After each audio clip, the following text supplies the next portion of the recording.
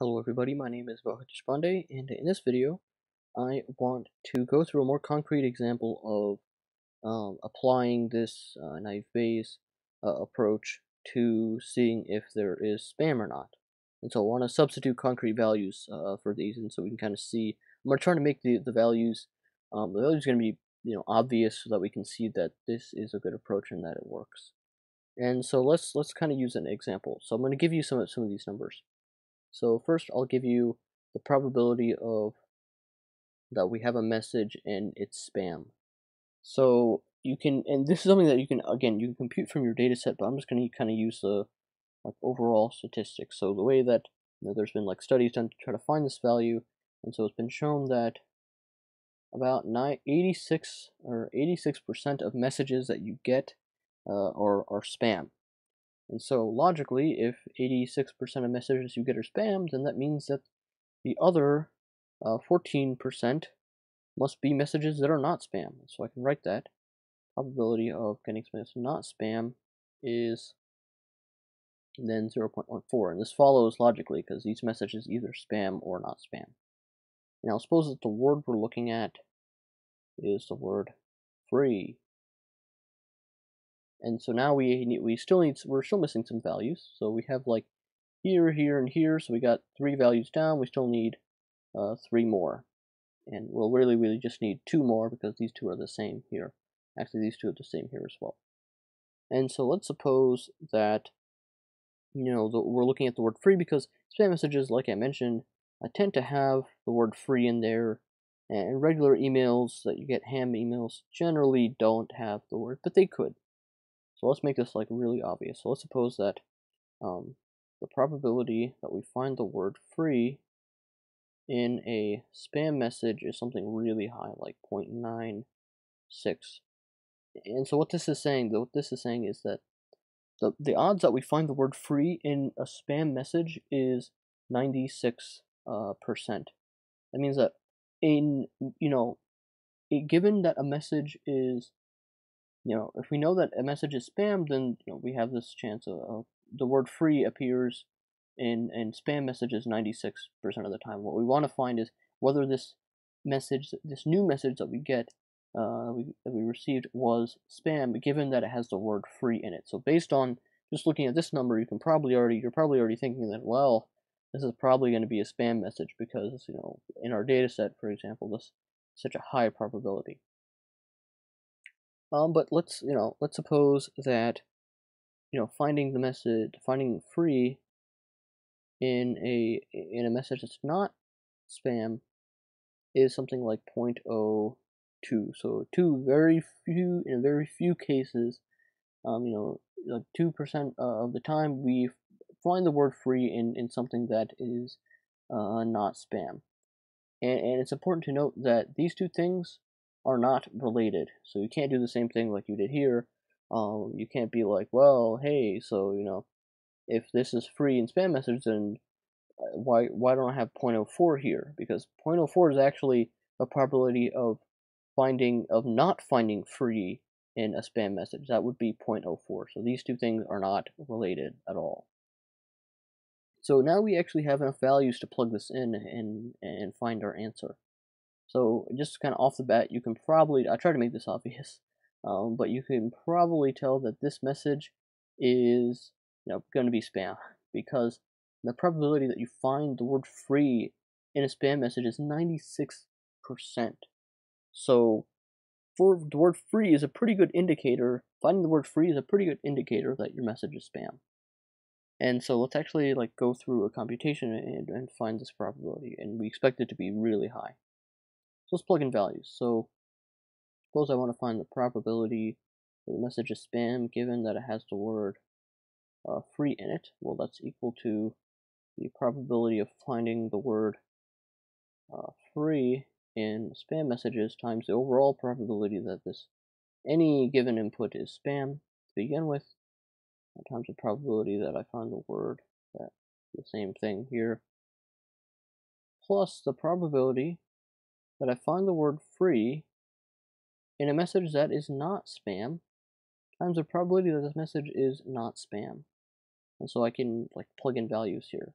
So the probability that it's free, given that it's um, probably defining the word free in spam message is 0.96.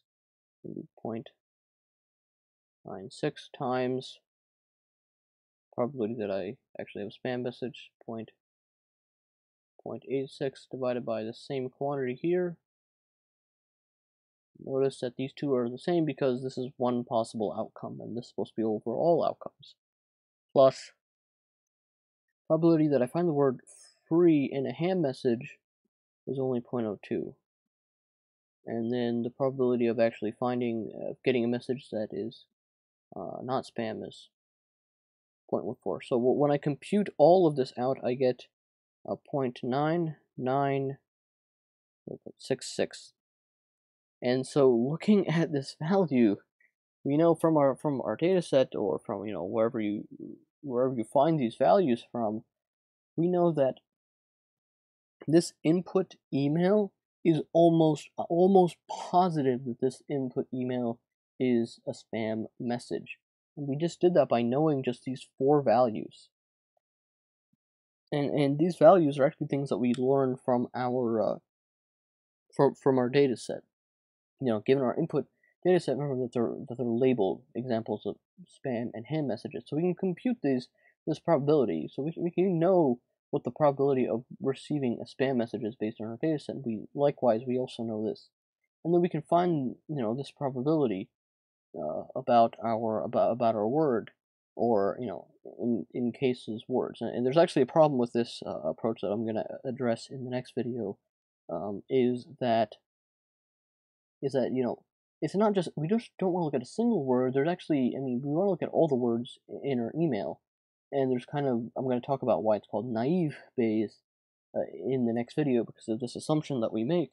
But um but yeah so we can see that this is actually a pretty good way that we can determine whether an email is is spam or not by looking at what's the likelihood that I find a what's the likelihood that I find this word or any word in a spam message and what's the likelihood that I find it in a message that isn't spam and then you know compute that that that probability. And so you know suppose I had this in reverse. Suppose instead of free I had like um you know something like, oh, I don't know, like report or, uh, or like report or research or something like that.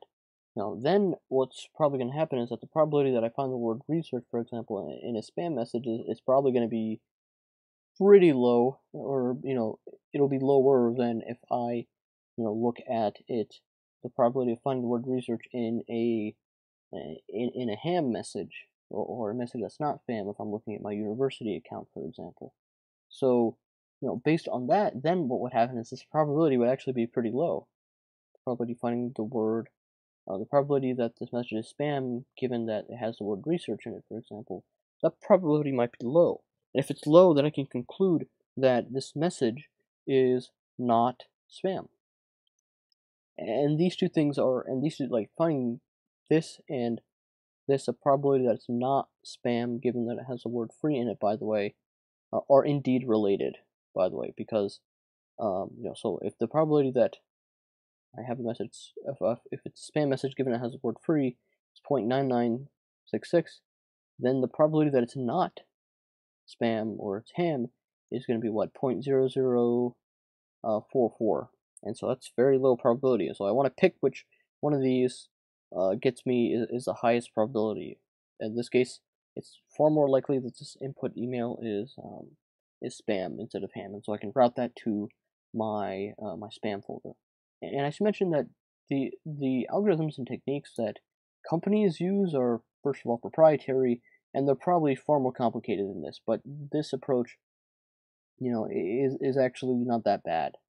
Uh, so this is kind of it's certainly more certainly easier to understand than some of the more advanced techniques. So we'll just be looking at um, we'll be looking at this. And so I'm going to stop right here, just do a quick recap. Uh, so we actually ran through a computation of using a naive Bayes technique to determine if a message was spam given that it has the word free in it. And I kind of gave you some numbers here. Said, well, the probability of getting any message that's spam is like pretty high. And, and consequently, the probability of getting a message that is ham is pretty low, and then you know we can look for a data set and say, well, what's the? Well, based on my experience, have I seen the word free in spam messages or ham messages?